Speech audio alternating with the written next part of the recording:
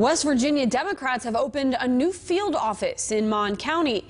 Former WVU legendary quarterback Major Harris handed a football off to Democratic gubernatorial candidate Ben Salango, symbolizing his run for the governor's office. Salango then officially opened the new Democratic headquarters located at 2916 University Avenue in Morgantown. The Democratic nominee for governor says Morgantown is the perfect place for Mon County Democrats to gather.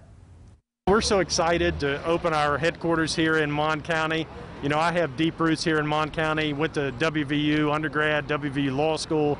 My wife went to law school here.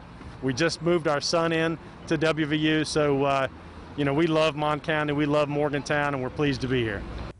And he says if anyone wants to help volunteer with the campaigning for any Mon County candidate, they, can, they are welcome to come down to the new headquarters and sign up.